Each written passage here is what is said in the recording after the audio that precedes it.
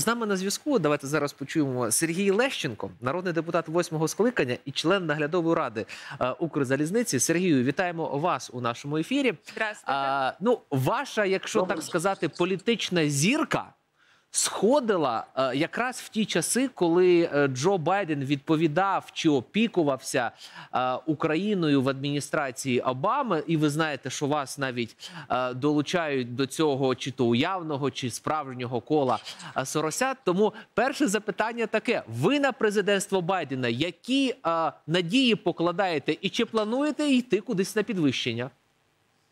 Ну, я вас вітаю, і мені здається, все-таки в присутності поважного дипломата і людини, яка реально розуміє, що є американська політика, слово Сарасята навіть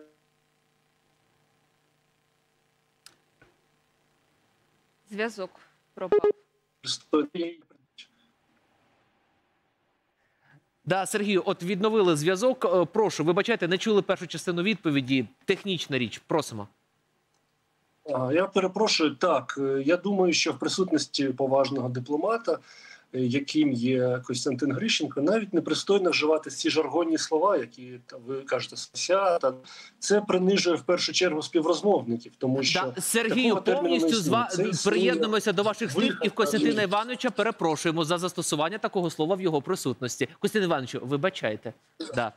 Сергію, просимо. Я продовжу дозволу. Так, вигаданий термін був на російській фабриці тролів і ботафер, щоб е, робити вигідно для Москви поширення смислу вірусів, які вони, власне кажучи, під своє розуміння міжнародної політики запроваджували. Що стосується мене, то я е, з Байденом, е, скажімо, не те, що маю особисту історію відносин, але справді в 2014 році коли я став депутатом парламенту, то в грудні місяці я отримав нагороду Національного демократичного інституту, і Байден був головним е, доповідачем, коли вручали її трьом українцям ще Олександру Солонтаю і Ганні Губко. І е, мав можливість там з ним теж зустрітися тоді в Вашингтоні, а потім він ще й в Києві до цього бував. Тобто, мені здається, що в нього є великі сентименти щодо України, і це звичайно на користь нам, і в нам е, треба цим шансом скористатися, оскільки вперше,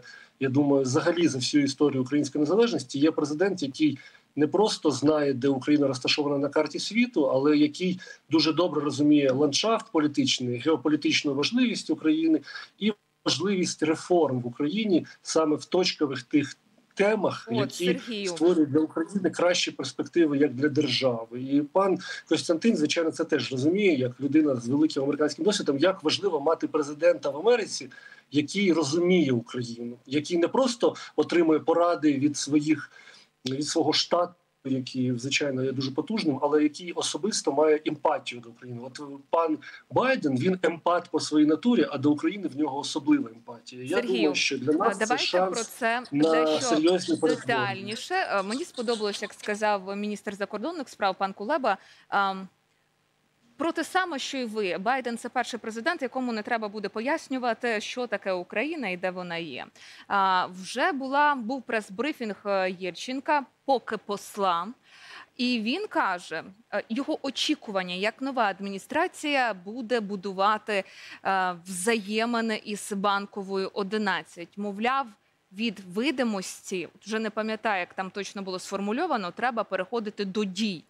І назвав боротьбу із корупцією та судову реформу. Як ви думаєте, коли Байден спитає у Зеленського про результати і того і іншого? Я думаю, що він не спитає про результати, а умовою контакту будуть саме ці результати. Тобто, е, Ну на, перепрошую. на найцікавішому обривається зв'язок. Давайте спочатку відповідь на моє питання, будь ласка. Е, я думаю, що Байден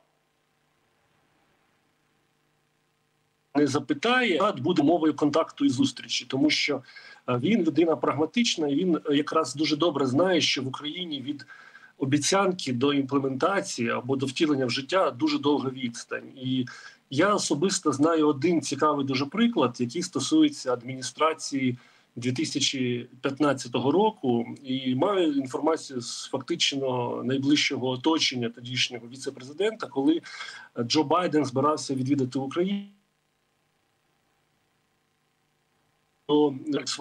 командою Яценюка, командою Порошенка, і тоді адміністрація хотіла, я б сказав так, певних виправлення корупційних помилок, які були при тій владі, і умовою зустрічі і візиту Байдена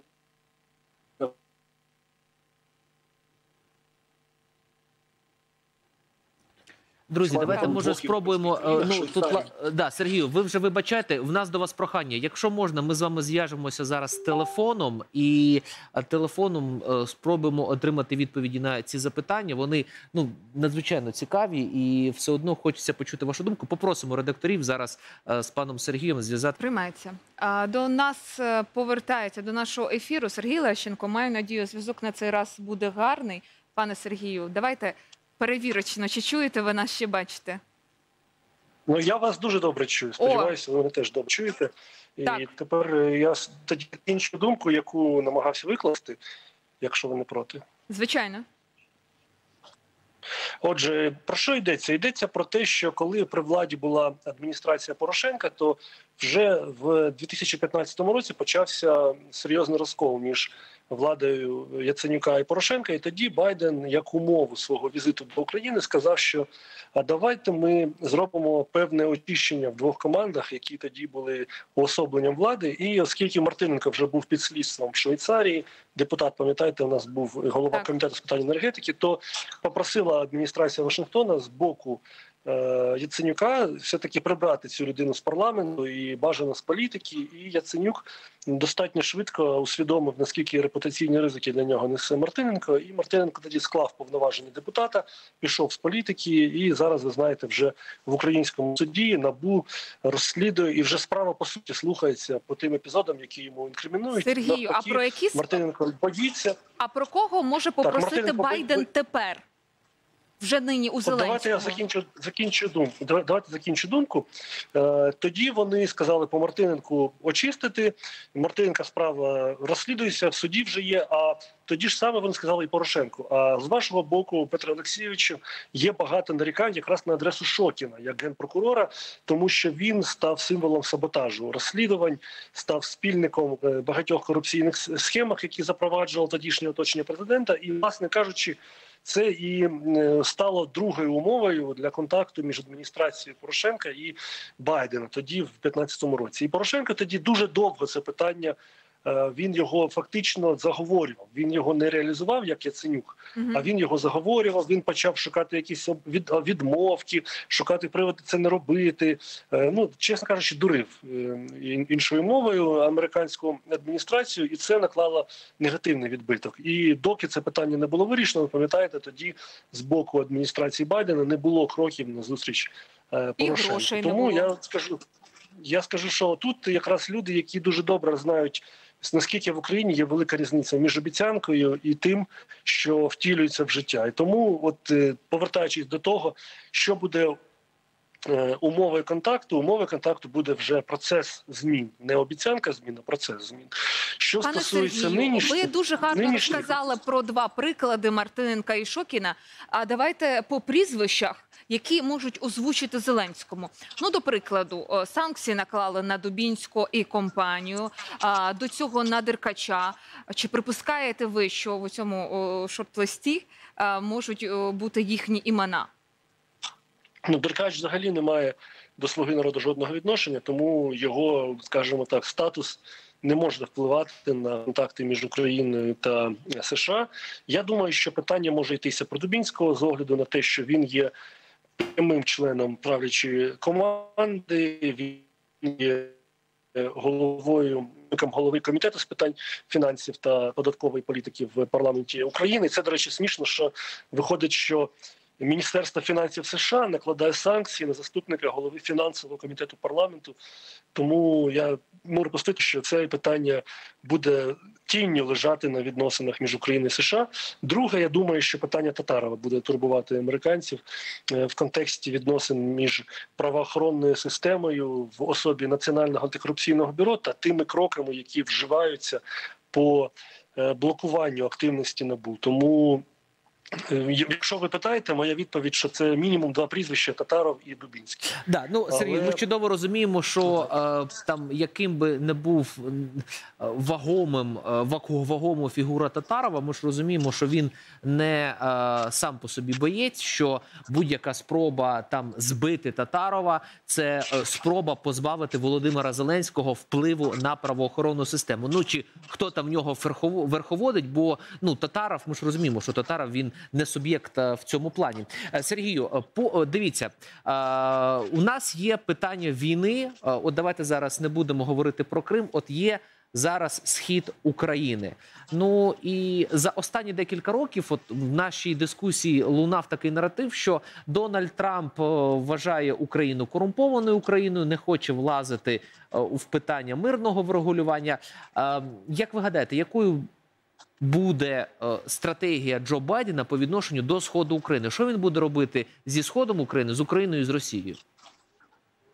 Я думаю, що тут якраз е, немає різниці в двох адміністраціях, оскільки тут діяли інституції. Сам Трамп ніколи не цікавився питанням регулювання на сході.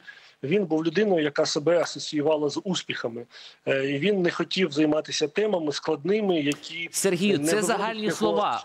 Тема успіху це тема. Кожний політик хоче успіхів, але є успіх для політика, є успіх для його опонента, є успіх для третіх сторін. Давайте конкретно, що адміністрація Байдена буде робити з війною, конфліктом, називайте як хочете. Якими будуть дії? Ну я власне і намагаюся закінчити думку. Особливої різниці між адміністраціями не буде, тому що Трамп як такої не мав політики щодо Донбасу.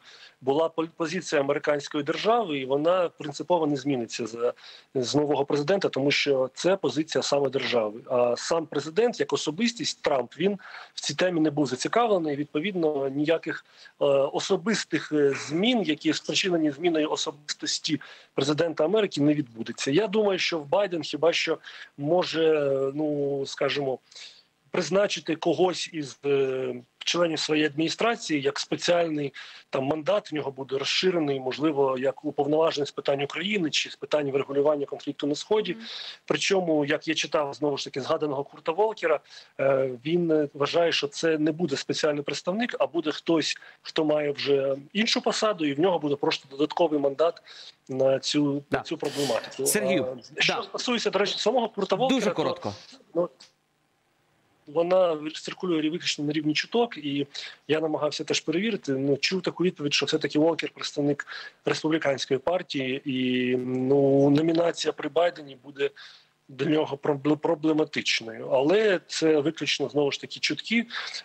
Ще прізвище в Київ не надсилалося для затвердження кандидатури посла. Єдине, що я підтверджую, що попередня кандидатура Кіта Дейтона вона відкликана з огляду на те, що він був представником е, саме е, Помпео, я б сказав, не, не Трампа, тому що державний секретар був Майкл Помпео в той час. Да. Сергію, ми вам дякуємо. Сергій Лещенко, народний депутат восьмого скликання і член наглядової ради Укрзалізниці. Дякуємо, що долучалися до нашого ефіру.